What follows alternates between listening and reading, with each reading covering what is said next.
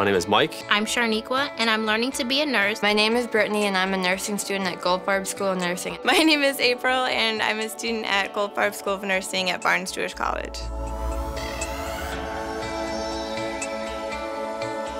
When I was uh, applying to attend Goldfarb, they have two options. They got accelerated option and upper division option for their bachelor's program. The upper division option is a little bit slower paced. It's five semesters instead of three. I really like how small it is, but you still get all the like amenities that you would want. So I love that the receptionist knows who you are by name and your advisor knows you. It's so tight knit, yet you're not missing anything. You know, there's SNA and, you know, student council and all the things that you would get from bigger programs, but you still get that tension.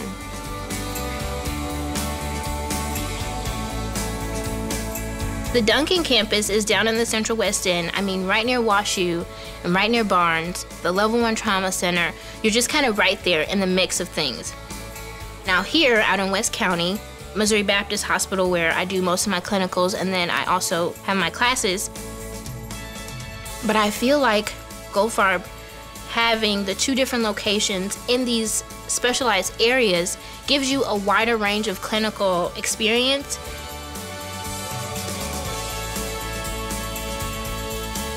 that first experience in the simulation lab, you know, like you memorize the process of how to do your IVs or wound dressings and even suctioning. We did suctioning on trachs and it was kind of intimidating like the first time I saw it in the hospital. But since, I mean, we'd covered it in SimLab, I was like, oh, okay, I already know it's like a sterile procedure and like this is how I do it.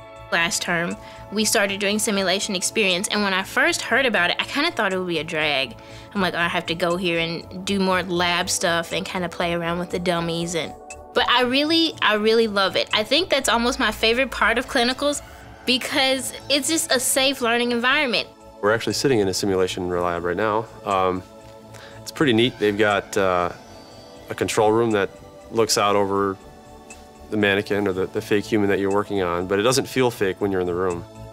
It's very real. It's completely like you can't take a time out from it. It's as real life as you can get without it actually happening. So they can call a code and you literally with your classmates practice what you would do in a code and there's no one to tell you what to do. You're just working together and to see what you know, what you don't know, what you could work on, who's gonna call the doctor, who's gonna call pharmacy, to practice all those kind of skills you'd actually need.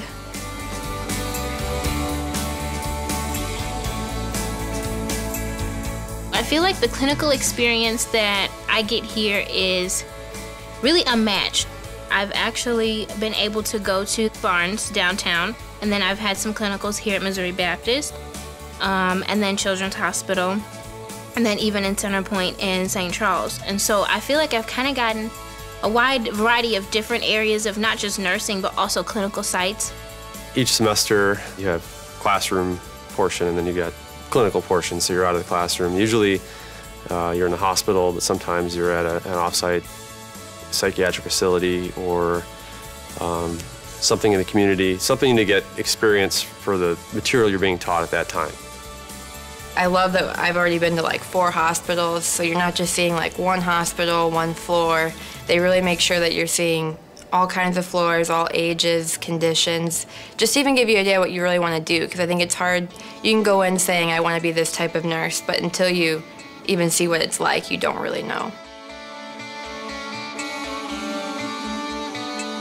I can honestly say I have not had a single clinical instructor or faculty member here that has not done a, an amazing job.